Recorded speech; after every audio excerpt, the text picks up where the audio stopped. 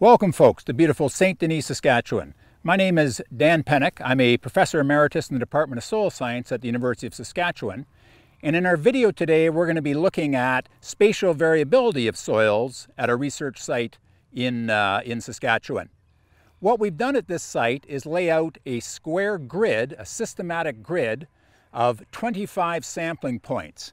So each one of these flags is one of our sampling points. The Spacing is 100 meters by 100 meters. Uh, we can see Christine at one side of our grid and Lee at the other side of the grid, giving you a sense of what 100 meters is in a site. There's 25 meters between each of the flags, and at each of these flags, we took a core that we're going to use to look at the spatial variability of soils at this site.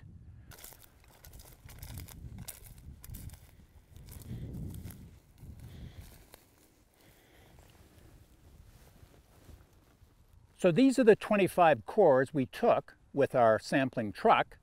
We took them in a silver core like that one on the far end, which still has one of the samples in it. And then we slid out the sample so you can see the variation in soils associated with it. What we're primarily interested in today is the thickness of this upper organically enriched A horizon. But briefly, you can see some of the other colors the grayish colors associated with high calcium carbonate or lime, and the browner colors associated with a lime-free middle or B horizon. What we've done is arrange them so that the thinnest A horizons are at that end and the thickest A horizon is at that end. And it gives you a sense of the significant variation in A horizon thickness that can occur even in, within this relatively flat 100 meter by 100 meter grid. Why would this be of importance? For example, if we're looking at the organic carbon content in this area, the thicker the A horizon, the greater the organic carbon content.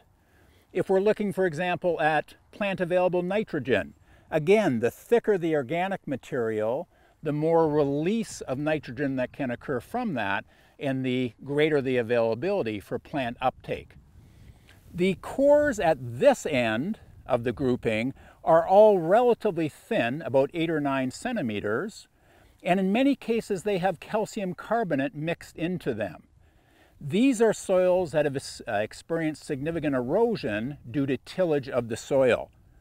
The soil increases in thickness across this side and is reaching A, A horizon thicknesses of approximately 15 to 20 centimeters, which would be very typical for soils in this area. The soils at that end are significantly thicker. The one at the end is almost 40 centimeters thick versus 8 or 9 centimeters at this side. That soil is very close to a small wetland at the other side of this grid. It actually has calcium carbonate and some salts right up to the surface. So it's a soil associated with wetlands and hence is much thicker and higher in organic carbon than the soils of these upland areas. Overall then, it gives us a very clear sense of the very significant variation in A horizon thickness that can occur even in a very small area. And the question that we're looking at in this course is, how can we capture this variation in the most efficient manner?